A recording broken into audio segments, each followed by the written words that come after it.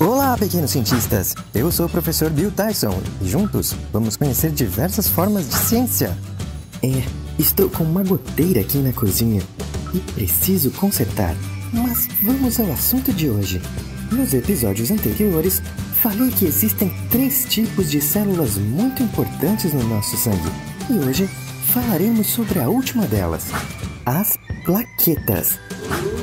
As plaquetas também são chamadas de trombócitos e, na verdade, não são células, e sim pequenas partes do citoplasma de células muito maiores, chamadas megacariócitos.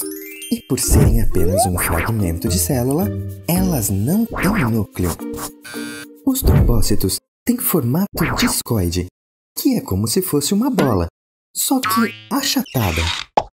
E são bem menores que as hemácias e os leucócitos. Mas não se deixe enganar pelo seu tamanho. As plaquetas são verdadeiras salva-vidas.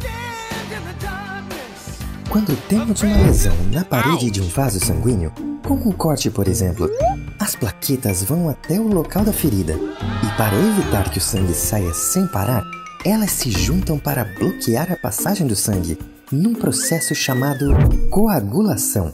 Neste processo, as plaquetas produzem uma substância chamada tromboplastina, que ligadas a outras moléculas presentes no sangue, vão se transformar em fios minúsculos de uma proteína chamada fibrina. Agora, com a fibrina, as plaquetas formam uma espécie de rede, na qual conseguem prender até mesmo células maiores, como as hemácias, criando assim uma barreira que evita que o sangue saia do vaso sanguíneo.